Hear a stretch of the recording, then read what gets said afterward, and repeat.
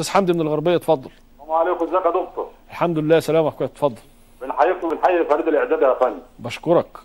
الله يخليك يا فندم. حضرتك انت كنت كلمتك نمره ثلاث شهور وبكلمك وكلمتك نمره شهر على اللي هو وزاره الصحراء والغربيه يا فندم. اللي هو إيه؟ كلمتني مرة ما قلت- مرة ما قلت لي في الحلقة حضرتك أنا هكلم لك أحمد صقر ونسأله لك نشوف التقديمات إمتى سيادتك؟ ده الت... اللي هي بتاعت تقنين وضع يد ولا بتاعت إيه؟ لا لا اللي هو وزارة الصحراء والغربية يا فندم. ساعة الرئيس ما كان بيفتتح النفق باسماعيليه ماله بقى الظهير الصحراوي؟ عايزين سيادتك نعرف التقديمات إمتى. إحنا سمعنا ان فكرة اعتراض متخصصة من محافظة الغربية يا فندم وإحنا ناس من الناس اللي ما عندناش. تمام. هو التقديمات لسه التقديمات لسه ما اتفتحتش؟ وأنا قلت لك لما يتم الإعلان عنها إحنا أول ناس هنقول. بكرة يا أستاذ عزيز بعد إذنك نكلم سيادة اللواء أحمد ضيف صقر محافظ الغربية نستهل بيه هذه الحلقة. نكلمه ونسأله على الظهير الصحراوي عشان الناس مشتاقه فبكرة إن شاء الله يا أستاذ عزيز بفكرك هو المره الثانية على الهوا. سيادتك يا نت- فندم سيادتك بعد إذنك. أيوه.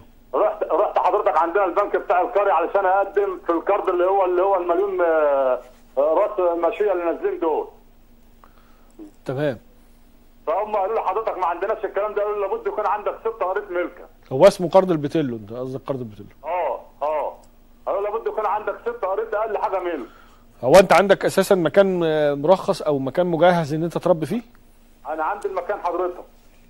تعمل الطلب وابعته لنا علشان إحنا نقدمه لك في إدارة الإنتاج الحيواني. في عند عند رئيس قطاع الإنتاج الحيواني. عليك يا دكتور سامح ما نتحرمش منك ربنا يخليك يعني. يشوف لنا موضوع الأرض ده.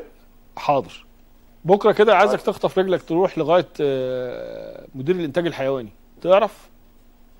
في الغربية يا فندم؟ آه ولا بعيد عنك؟ لا بيا بعيد عني بينه وبينها حوالي من من 30 40 كيلو يا فندم حاضر اكتب الطلب وإحنا دكتور بالنا. إحنا بنصف إحنا انت لنا من بعد ربنا سبحانه وتعالى يعني إحنا عايزين نظرة بس من سيادة الرئيس لحضرتك. يا ريت يخليك حتى يرقيك تبقى مساعد وزير الزراعة. الله يكرمك أنا راجل إعلامي ومذيع. فيعني أنا للأ يعني أنا مش متخصص في الزراعة فلا اصلح والله لا والله يا دكتور أنا بوصل بوصل رسالتكم ودي أهم حاجة عندي. إحنا راجل بنحبك هنا أكتر من 3000 ناس ما بيحبوك. أقسم بالله جبت حقوق الناس اللي كانت ضايعة. وأنا بحبك في الله وربنا يوفقكم.